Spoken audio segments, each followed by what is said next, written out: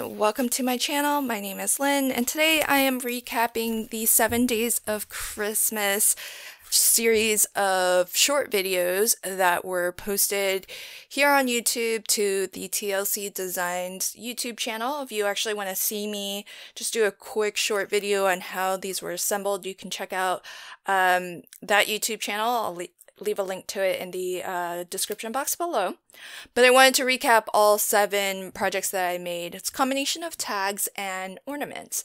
And this first one, I used the Celebrate frame die, and it's great. It's got the larger rectangle frame, but then it's got the smaller one that actually has the word Celebrate uh, built into it. And so I took that, I did die cut it twice out of pattern paper and out of a heavier weight cardstock. That way these tags are a little, they're kind of sturdy. And part of the Chilly Fun paper pad and the sweet bundle that we got, there were some pre-colored, pre-printed sticker and tag sheets.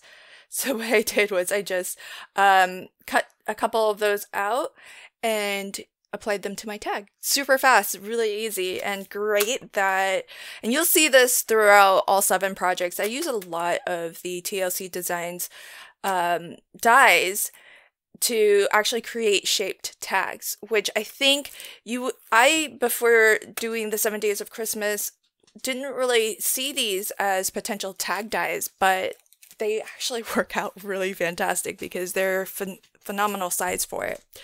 So here's um, the second one that I made. This one features the Warm and Fuzzy Unicorn stamp set, which is a relatively new release, and it's illustrated by Lee Hollins.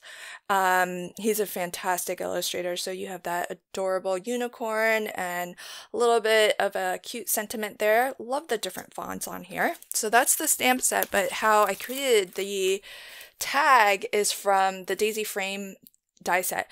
This is fantastic. You can actually see this as more or less like a layering die set.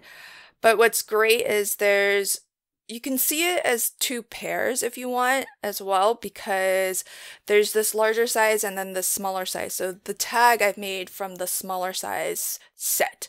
And in each of the sets you'll see the larger of the two um, has all of this lovely deboss border design and it, there's actually three lines there.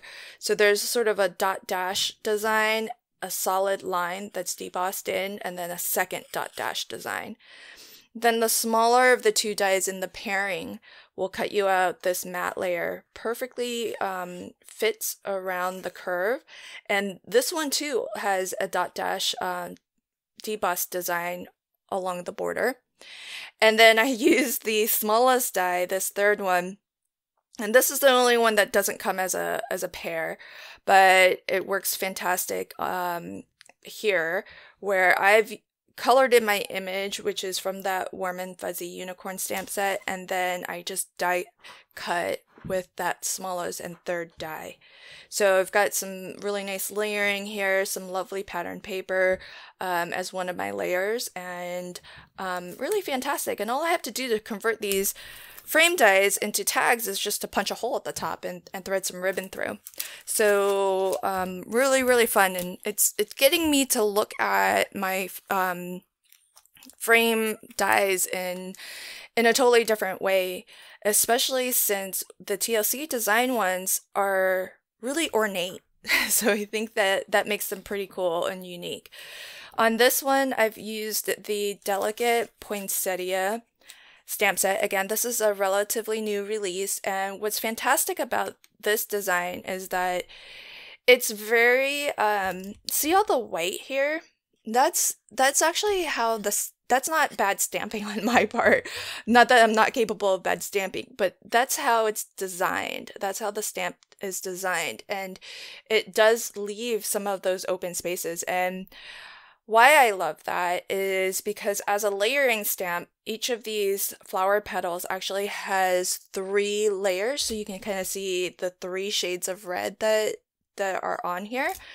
That's from stamping. And why I like that some areas are still white and it's it's just a little bit kind of abstract is that you don't have to be overly precise when you're lining up your stamps for each additional layer. So I just stamp it by hand. I don't use a stamp positioning tool to get it overly precise. You can see my stamps are well loved. It's stained because red ink will tend to stain, but that's not that red isn't going to transfer onto my next stamping. So it's clean. It's just that, you know, that's what red ink will sometimes do. And um, for each uh, flower set of flower petals, there's actually three stamps and there are certain areas that you can look for to help you line it up but you don't have to worry about being overly precise at least i don't and i think it looks fantastic even because i just use a stamping block and i and i go pretty quickly when i when i do this what i tend to do is i take the largest most solid looking use that with my lightest color and i stamp a bunch out and then I take number two, which um, looks a little bit less solid, generally a little bit smaller as well. And then I stamp that right over the first one in a mid-tone color. And then I take the third, and that's the one that's going to look the most sparse. And using my darkest red, I just stamp uh, right over top the second layer. And so I like to just make these in batches and do like, you know, three to four at a time. And just depending on how many I think I need, I'll add a couple extra and um, just do them right in a row. And it's it's pretty fast to do, and it, you get all that shadow and highlighting, which I think is fantastic. And then for the tag shape itself, I've used the scalloped rectangle garden die set, and I took this die here and it's really lovely because it's got the um, circles cut out of the border there, and in the center, this or corner, I mean, this actually looks like it could be a little flower. This, um, looking at it now, would be a lovely opportunity to do some stitching too. So you could do some stitching all the way around the border, stitch a little flower in the corner here, and I think that would be super lovely. The warm hug sentiment is from the um, warm and fuzzy unicorn stamp set, and again, all I did to convert this rectangle into a tag was just to punch a hole at the top. And you can see the tags are, they're not all the same um, shape or size, but they're they're kind of similar and, and I think um, they work really well. So here is another um, tag where I've used the oval lily frame right there. So it's the smaller. That's the wonderful thing about the TLC Designs frame dies, because it's not just the one frame that you're gonna get. You get you know some mats and layers. Some have more than others, but um, some of them can be really great basic shapes, and this is this is one that is a fantastic basic shape, but it still has this lovely dot dash um, deboss border design. So I think that's really lovely. And from this set, I also, this funny shape die here, that actually makes you a little bow, little, um, so you just, uh, soften, you take a bone folder and you soften your paper a little so that it'll curl like this. And then um, these little tabs you can just glue um, on the back. And then I just finished my bow off with a little pearl in the center there. And so there's lots of other little accent dies included in all of the frame dies as well. Um, but I decided to use this aviary oval die um, because there's lots of different birds in here and these little um, kind of little leaves leaves um, are from here too. And then I took uh, this little bird here, the one that looks like it's standing, because you have two um, birds in flight as well. So you can kind of um, choose how um, how you want to use them because there's a cage here. This is like a little um, bird bath kind of uh, feature, fountain feature. And what's great about these two ovals, because ovals can be a little bit tricky, just like rectangles, they have an aspect ratio to them that makes them all potentially a little bit different. It's not like a square or a circle. It's always going to, all squares and circles have that same sort of aspect ratio. But how, why I love how these two have been designed is that you can actually take this plain edge um, oval here, and if I just put that in the center of the scalloped oval here, you can kind of see that it's a, it's pretty much the same aspect ratio. So that means you can mix and match. You can actually use this scalloped border um, oval die from the aviary oval die and then take the plain um, edge one here and then use that as a matte layer on top of this die as well because this one actually doesn't come with one this one instead comes with a another die plate but this cuts a, a different additional design into the card so you can get kind of a double uh, design effect there but you can always take the oval die from here if you wanted to add a matte layer on top then you could do that so uh, I thought that was wonderful. And then I took the smile sentiment from the Rosie Sentiment die set.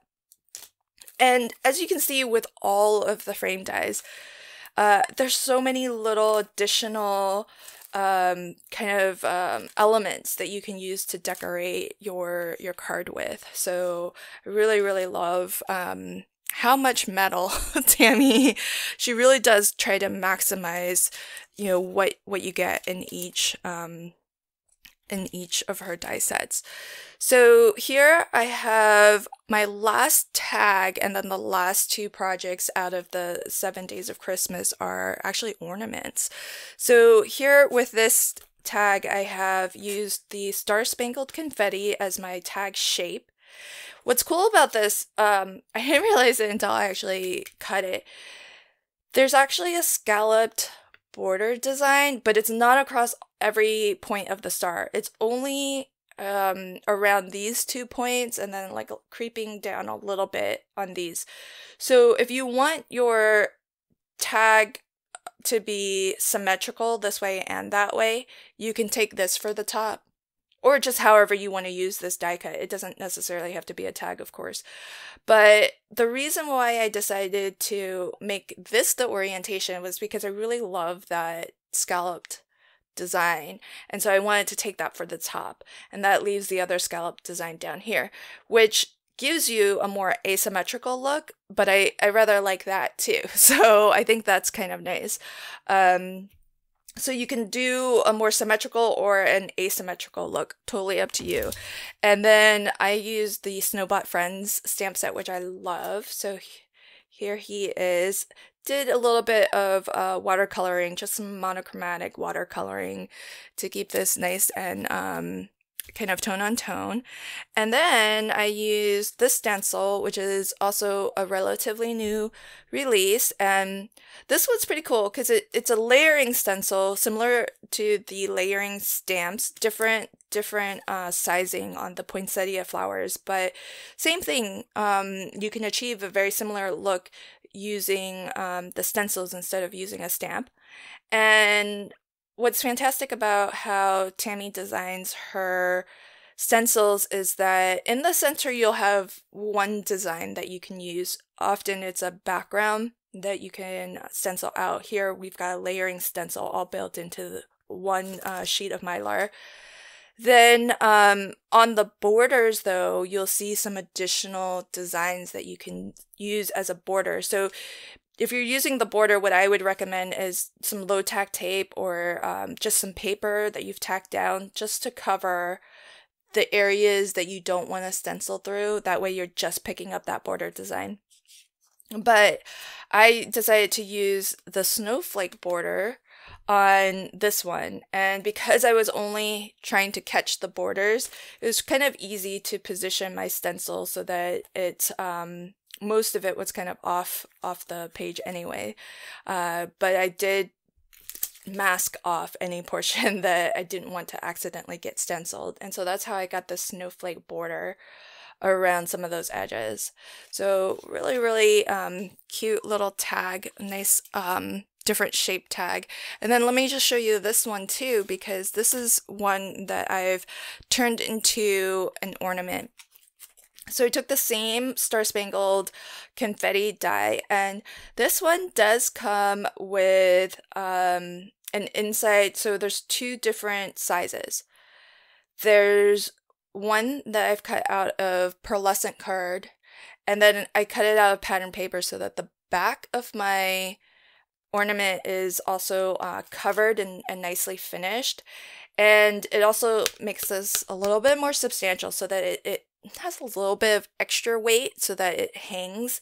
That's the thing with paper ornaments. Um, if you want it to kind of have a good um, sort of drape on your tree, uh, adding a couple of extra layers will will kind of help it to hang a little bit better.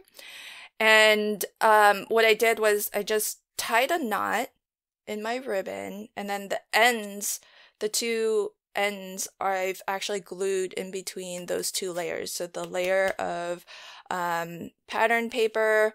I actually have, I think, cardstock pattern paper, the pearlescent paper, and then another layer of pattern paper. So there's quite a few layers here. But um, but I've glued the ribbon in between uh, the two largest die cuts of the star. And then in the die set, you get a, a uh, smaller star that you can use on its own because it still has all of this really lovely uh, scalloped border detail. So you could use that by itself or as a matte layer on top of the larger one. So I love that because sometimes, sometimes um, as you go down in size, maybe it's not, um, you know, it's just a very different shape as to the larger die on the outside. And maybe a good example of that is this one where you can see the matte layer. See how this comes to a point? Whereas on the outside layer, it's actually curved. It needs to come to a point in order to kind of match the um, the inside border but it does give it altogether like a different shape. So um so that's what I mean where where sometimes the matte layer dies it's it's a slightly different shape to the original where that's not really the case here. You, the smaller of the two star dies it's actually it holds its shape really really well and can be used both as a matte layer or standalone and you can use this one standalone too it's just a different slightly different shape but the smaller of the two is lovely because it's got some double, um, actually, is it double? Yeah, double uh, stitch detailing. And then on top of that, you do get, I love this. I didn't use it, but because I was cutting it out of pattern paper and I thought you probably wouldn't be able to appreciate it quite as much on pattern paper. But there's a third die plate here. And this die plate will actually cut it doesn't have an outside or an inside cutting edge. It just cuts in a design. And what's cool about the design is that it's it's partial. It's a partial star. So I think it's a really neat um I love this die because you can use it symmetrically like I said or asymmetrically. And this design gives you a nice asymmetric design because it goes from here to here and then on this side it goes um like that. So really really cool and I imagine you can kind of turn it however you want. So you can take this for the top and have a little bit of a more symmetric design. It's not quite, it's still a little bit asymmetric because it goes down a little bit here where this one stops at the point. This one goes all the way up. This one stops midway. So um, not quite asymmetric, but you can kind of play with that quite a bit and, and create different orientations. With this star, I did make it symmetric. So you can kind of see the difference in how I used it from the tag versus the ornament. So on the ornament, I took one of the plain edge and I put the two scallop ends on the sides. So this is symmetrical. You know, uh, if you folded it in half, it would be um, symmetrical. And then I took, um, I think this is also a sentiment from Warm and Fuzzy. And then I also um, use the little stars from the Star Spangled Confetti set. So you get four of them. I use three.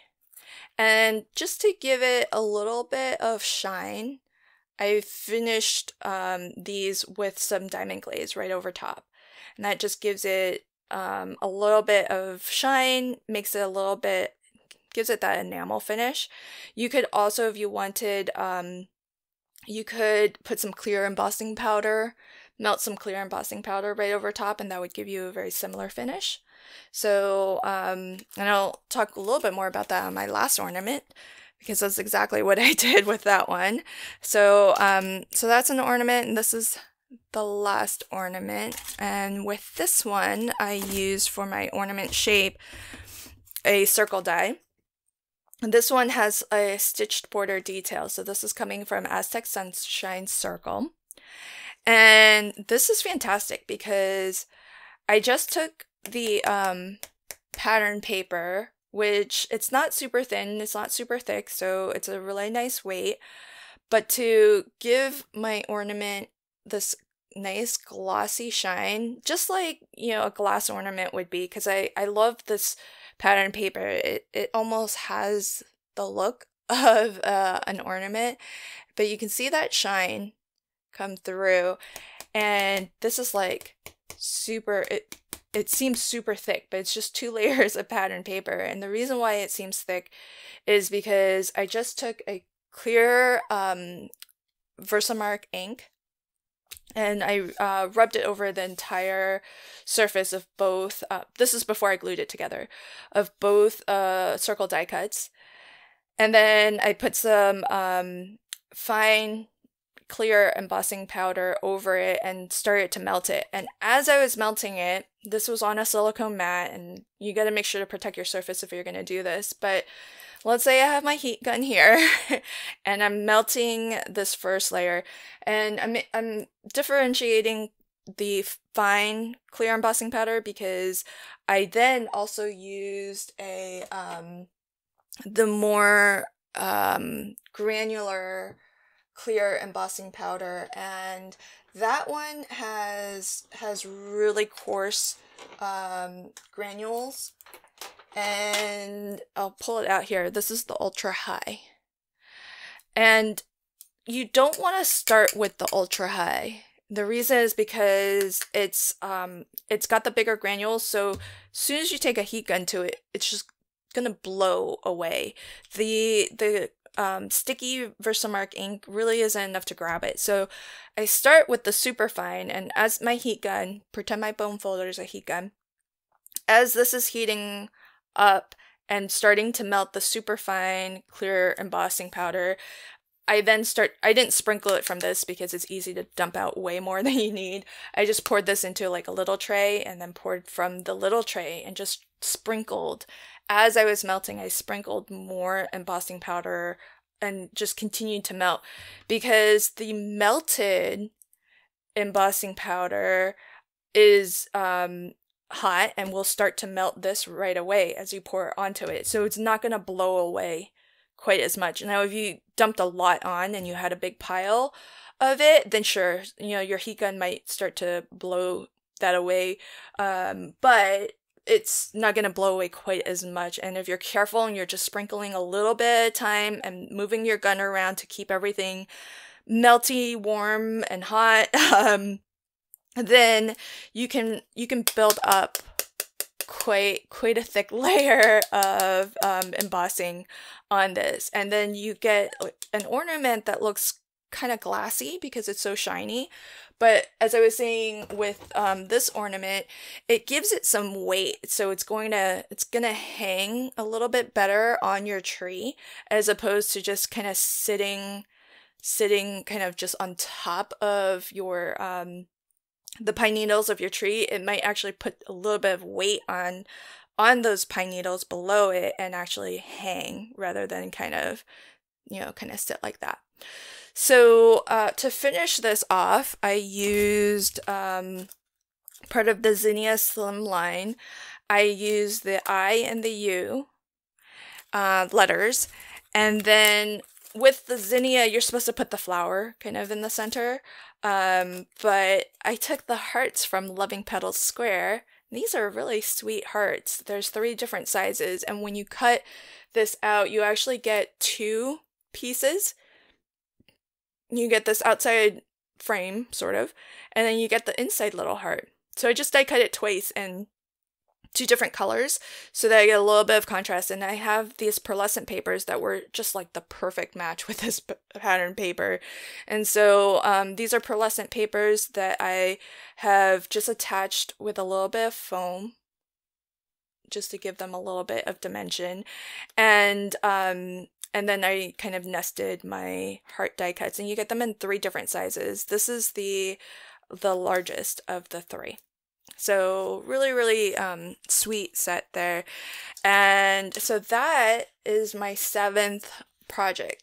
From my seven days of Christmas with TLC Designs. So, five tags, two ornaments. If you want to see just a quick video of how I assembled these, um, you can pop on over to the TLC Designs YouTube channel to check them out. Or if you're on Instagram, you can visit my Instagram uh, Reels tab, and they will all be there as well. Thanks so much for joining me. I'll leave links to all the products in the description box below if you're curious to check any of them out. And until next time, happy crafting and have a fantastic day. Bye.